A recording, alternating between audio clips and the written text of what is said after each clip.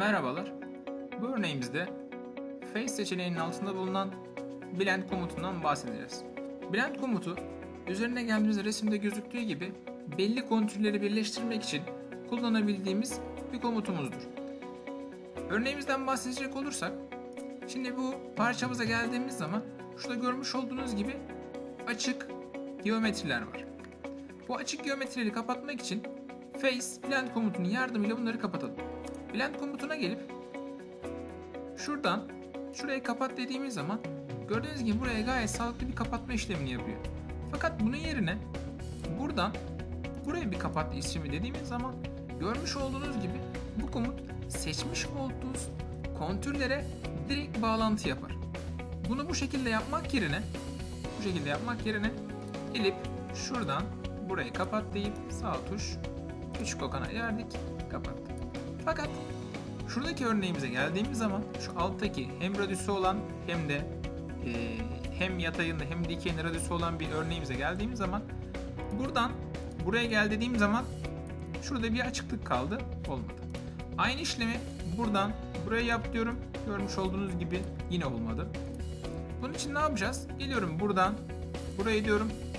Şurada bizim Pick Boundary seçeneğimiz var. Pick Boundary'e tıklıyorum. Diyorum ki burasını ve burasını da referans nokta alarak kabul et.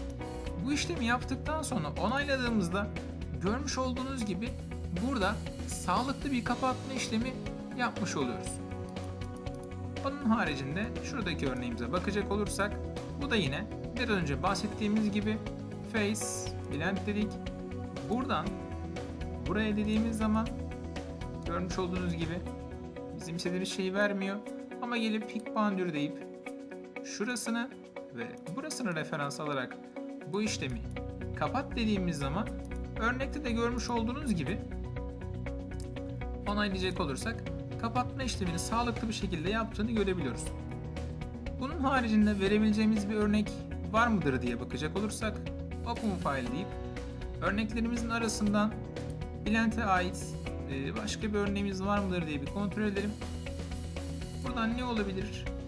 Örneğin şuradaki örneğimizi açtığım zaman şunları gizleyecek olursam aynı zamanda Blend örneği Face Blend'e gelip bu kontürü bu kontürü buraya buraya bağla dediğim zaman görmüş olduğunuz gibi sınır vermeden bu kontürleri birbirlerine bağlama işlemlerinde yaptırabiliyoruz. Dinlediğiniz için teşekkür ederiz.